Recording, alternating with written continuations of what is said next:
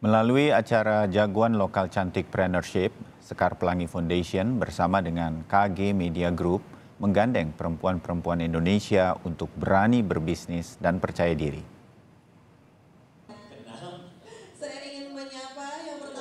Sukses menggandeng 500 perempuan pelaku UMKM di Indonesia, rangkaian acara bertajuk SPF Mencari Jagoan Lokal Cantik memberi peluang bagi pelaku UMKM di bidang kecantikan untuk meningkatkan kemampuan berbisnis, mulai dari strategi bisnis, promosi, hingga pengembangan diri.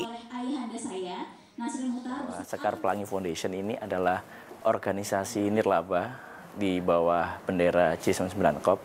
yang di mana fokus kita memang di sini adalah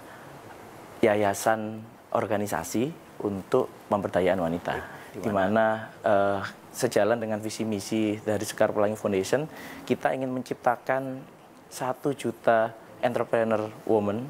woman entrepreneur di Indonesia dalam jangka waktu lima tahun. Dengan adanya kolaborasi diharapkan jangkauannya bisa semakin luas sehingga banyak wanita terinspirasi untuk bisa mengikuti uh, Sekar Pelangi Foundation ini karena kita akan membuat banyak program, bukan hanya program di sini aja, tapi akan kita buat berkelanjutan, bukan hanya tentang wirausaha aja, tapi juga mengenai tentang pendidikan, kemudian kesehatan, dan tentunya kita pengennya adalah wanita ini bisa seperti tadi saya sampaikan bisa mandiri, berdaya saing dan juga bisa berdampak bagi masyarakat. Pada program ini peserta mendapatkan skill praktis mengenai strategi sales, promotion dan fearless treatment untuk bisnis dari tiga coach sekaligus juri serta kelas kick off dan networking oleh Sandi Purnamasari, founder MS Glow, dan Siti Ajisa dari Deputi Kewirausahaan Kementerian Koperasi.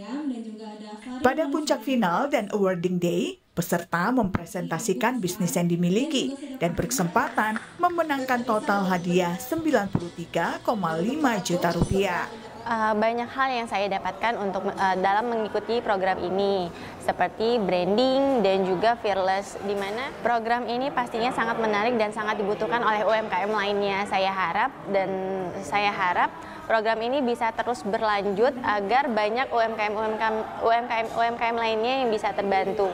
Pada kesempatan yang sama, Gilang Widya Pramana sebagai bagian dari Sekar Pelangi Foundation menyebut akan banyak program lain yang dilaksanakan dengan harapan menjadikan program ini berkelanjutan. Tim Liputan Kompas TV